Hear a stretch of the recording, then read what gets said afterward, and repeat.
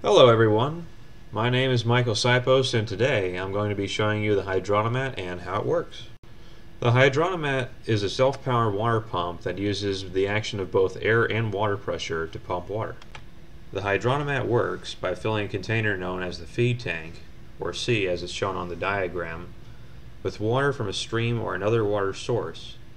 This water is then fed into a tank known as the operating tank, or D which is designed to work like a piston when it is filled or drained.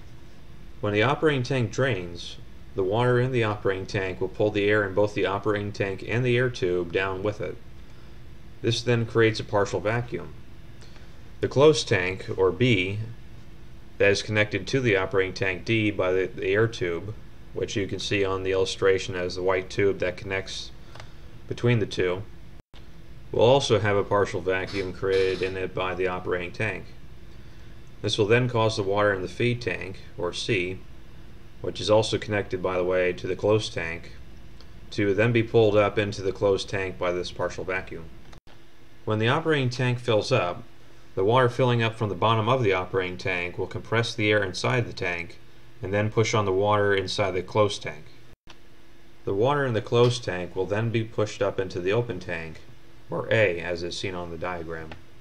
Both the suction and pressure cycles are controlled by an automatic switch that periodically turns off the supply of water from the feed tank to the operating tank during the suction cycle and turns on during the pressure cycle. First, I open the inlet valve to the operating tank with the air tube open in order to fill it all the way for the suction cycle. Now I'm going to start the hydrautomat by opening both the siphon and the inlet valve to the operating tank. This extra influx of water into the operating tank helps to get the siphon going and helps flush out any air pockets inside the siphon. As the operating tank drains out through the siphon, the suction created in the closed tank will start pulling up water from the feed tank. The water from the feed tank will then slowly travel up the tube and into the closed tank. As the operating tank keeps draining, the suction generated in the closed tank will continually pull more water up into the tank. When the water in the operating tank finally drains out, the siphon will disable and the suction will mostly stop. At this point, the closed tank will be filled, and it will be time for the pressure phase to start in the hydrautomat.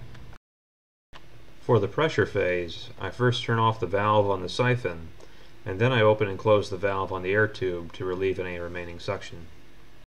The pressure phase of the hydrautomat is then started by opening the inlet valve to the operating tank which pressurizes the air in the tank. This pressure then pushes down on the wire inside the closed tank, which then causes the water to run up into the open tank above it. After the operating tank is full, the open tank will then also be full, and the hydrautomat will be ready to commence the next suction phase. This concludes the demonstration of the hydrautomat. Thank you for watching.